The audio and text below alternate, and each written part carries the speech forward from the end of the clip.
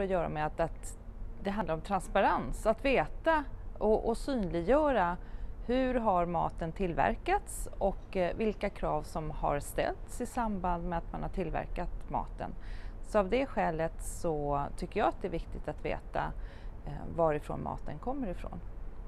Mitt hjärta ligger ju närmast verksamheterna så eh, då är det gästerna och kockarna som jag tänker på.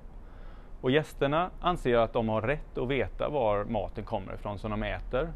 Och kockarna behöver det i sin professionella roll. De behöver kunna veta var, var råvarorna som de hanterar kommer ifrån. Och jag vet att det efterfrågas ute i köken. Det är viktigt att veta varifrån maten kommer eh, när vi serverar mat i de offentliga verksamheterna.